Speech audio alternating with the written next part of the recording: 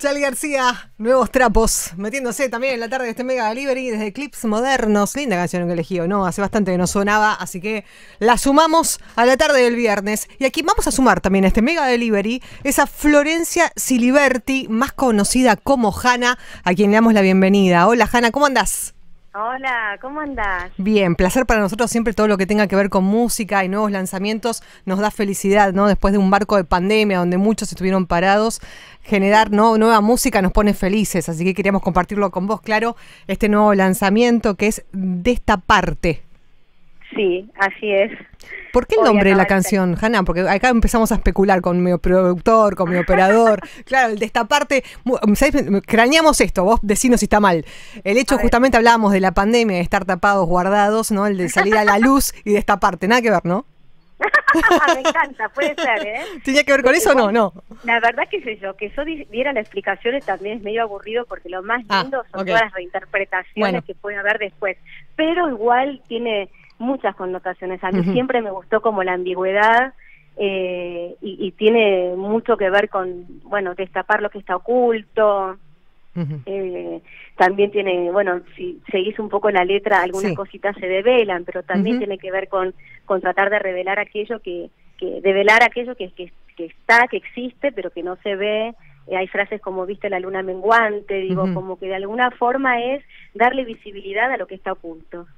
Como hacer, ¿no? Una especie de introspección, ¿no? Y buscar lo que está dentro, porque a veces una, uno a veces tiende como a, ¿cómo decirlo? Dejar de lado esas cosas que nos hacen mal y como que tachamos, ¿no? Como que hacemos de cuenta que no existieron para poder seguir adelante y a veces está buenísimo volver y sanar eso en realidad, porque si no como que siempre queda pendiente. Mira, esa también puede ser una lectura, otra que tal vez también en mí estaba presente es a veces algo que está más en el afuera, en esas cosas que a veces no se conocen o no llega la información porque simplemente eh, están como encapsuladas y, y, como ocultas por diferentes factores eh, sociales también, ¿viste? Eh, la verdad que si, si me preguntás y, un poco eh, eh, el alma salió de ahí, de la canción, de esas cosas que siempre existieron, pero que no se mostraron por diferentes situaciones, eh, y, pero que existieron, que formaron parte, pero que están como a las sombras. eh, y, bueno, eso fue, eso fue. Y otra de las cosas que me llamó mucho la atención de, esta etapa, Hanna, bueno, tantos años eh, conociéndonos, haciendo notas por ahí en festivales, ¿no? Con, discos que han salido. Y, me encantó ver la propuesta de que está tu hermana también metida en esto, ¿no? Andrea, eh, veía ahí la foto, porque bueno, yo siempre cuento la historia, yo tengo una hermana gemela también. Y, Ay, sí, sí, sí, lo hemos hablado en Lo hemos hablado, por eso. Y en su momento hablábamos de tu hermana melliza, ¿no? Y de repente incorporarla también a este proyecto me parece único, ¿no? Mira, yo con Andre vengo tocando desde, siempre. ¿eh? Ella es, este, bueno, mi, claro. Eh, está más visible por ahí ahora. La banda es, la función, digamos, baterista. es, baterista. eh, una genial baterista. Siempre digo que si no fuese mi hermana, igual la iría a buscar para que toque conmigo. Eh, pero como siempre, mis proyectos fueron mutando, mutando también por la sonoridad este, que, que yo, bueno, eh, casi caprichosamente me encanta como experimentar diferentes este, sonoridades en, mis discos. Y, y, siempre estuvo mi hermana, siempre estamos juntas en la vida también, sabes que vivimos a dos cuadras de diferencia, nos amamos con locura eh, y siempre sabemos que vamos a estar una con la otra y, y somos muy felices arriba de un escenario. Y en este momento este proyecto también como que este somos es como más minimalista inclusive igual todavía no sé porque en, este digamos en esta pandemia no nunca salí a tocar eh, he hecho cosas así más por streaming pero muy poquitas muy poquitas algunas invitaciones. Así que bueno este con las canciones nuevas tendríamos que ver ahora el formato pero sí, es, es, este un gran amor mi hermana.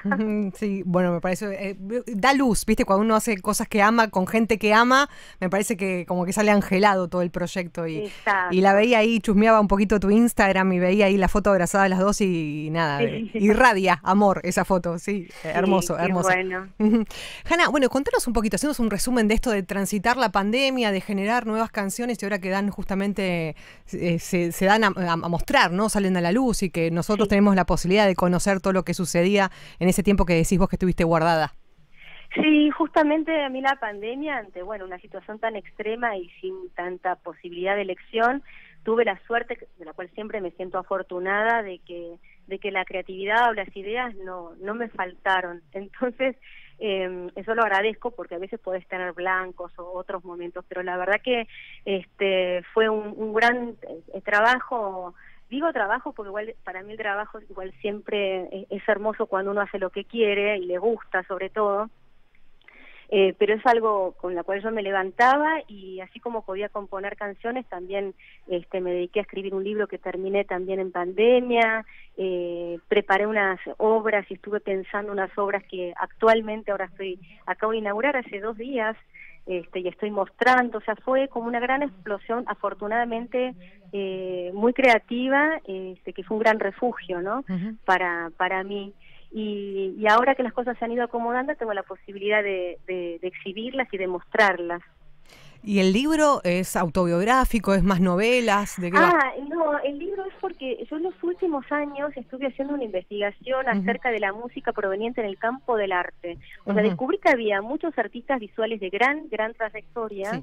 Eh, que digamos eh, muestran o venden sus obras a nivel internacional eh, y argentinos y que realmente tenían proyectos este, musicales. Entonces eh, hice una investigación, me fui, te digo, a fines de los años 60 hasta la actualidad, discos que se han editado en sellos importantes, también te digo tipo Columbia Records en su momento. Me acuerdo que estuvimos eh, hablando y de hecho que vos dijiste que ibas a fundar de hecho un sello, ¿no? Para poder eh, editar música hecha por artistas visuales. Ah, lo hice, lo hice. Habíamos hablado de eso y habíamos dicho Claro, lo fundé y ya va más de 20 lanzamientos. Ah, bueno. Todos son este música exclusiva por artistas visuales y el proyecto se llama Otras Formas. Y fue también como parte de mi obra, entonces como el proyecto se llama Otras Formas también tuvo muchas Y esa forma fue, primero hice un primer compilado que se presentó en el Museo de Arte Moderno, que, reuní las primeras canciones que había encontrado en un disco llamado Otra Forma, está todo en las plataformas digitales si lo quieren escuchar, ese se llama Otras Formas, bueno, hice el volumen 1, luego el volumen 2, el volumen 3 que fue Otra Forma Yungas, y después también, este bueno, edité discos este solistas, eh, Quiero decir, después de ese primer compilado fundé este sello que te contaba, también llamado Otras Formas, y después me di cuenta que era tan rica toda esta investigación que no se había contado anteriormente, que dije, esto tiene que tener un registro, claro. y, bueno, ahí entonces empecé a, escribirlo y me llevó, te digo, está todo en base, son crónicas culturales eh, basadas en entrevistas que hice desde el 2017 y, y ahora, bueno, estoy ya en charlas con una editorial para editarlo, que yo ya a esta altura supongo que va a ser para principios del año que viene. Qué bueno eso, Jana, porque bueno, cuando hablábamos, me acuerdo en la otra oportunidad, hablábamos ¿no? De, lo maravilloso de poder justamente meterse en la música de artistas visuales, algo que por ahí la mayoría no, no entiende de qué se trata, y poder explicarlo también en un libro, ¿no? Y poder ver todo tu análisis y estudio que hiciste, como decías vos, desde aquella década, ¿no? Del 60, ahí arrancaste, eh, viendo todo eh, ese, ese proceso esa, ¿no? Eh, ¿cómo decirlo?, crecimiento que tuvo la música desde ahí con un ámbito totalmente por ahí desconocido para muchos. Sí, y te digo igual que a veces es más simple de lo que parece, porque en realidad se celebra la libertad de poder hacer lo que uno le plazca. Es decir, este, sobre todo, bueno, en esas épocas por ahí inclusive era, había como pensamientos mucho más conservadores, que en la actualidad ya no, o sea, es mucho más, es ahora natural ver un artista que es DJ y un artista que es músico también.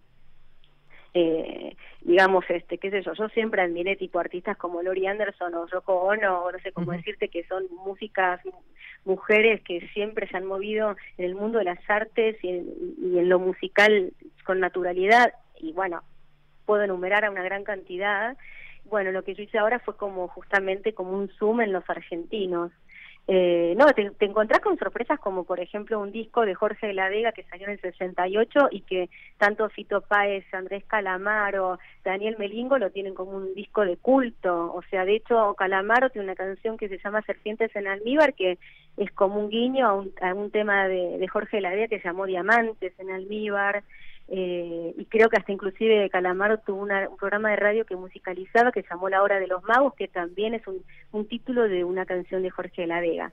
Digamos, hay que siempre investigar, ¿viste? Tiene que ver con destaparte, o sea, fíjate como que de alguna manera... Todo está relacionado todo está relacionado, ¿viste? Eh, esto que te cuento de darle visibilidad a un montón de música que estaba como muy subterránea, hasta para el propio campo del mundo del arte.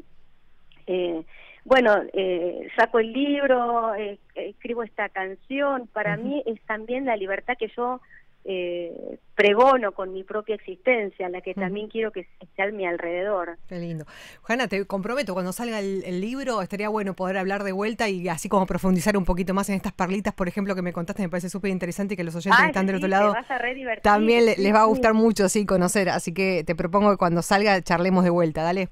Sí, total. De hecho, recién, bueno, escuchaba a Charlie García y Charlie está en el libro porque también descubrió al grupo Las Baby Quits que, bueno, de alguna forma las encontró en, en una exhibición y después las llevó a, tocar con él en el teatro, que está Vitelas ahí, Fabiana Cantilo, era muy performático. Bueno, mucho para contar.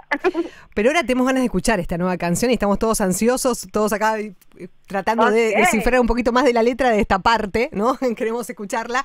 Pero qué mejor que la presentes vos. Vos sabés que esto es el Mega Delivery donde donde programa durante cinco horas la gente elige las canciones que tiene ganas de escuchar y siempre hacemos que las presenten ellos mismos. Así que te propongo, Hanna, si te parece que presentes un poquito la canción, nos hagas una especie de preámbulo de este nuevo tema tuyo para que podamos disfrutarlo, ¿te parece? Me encanta. Bueno, soy Hanna y aquí los dejo escuchando de esta parte.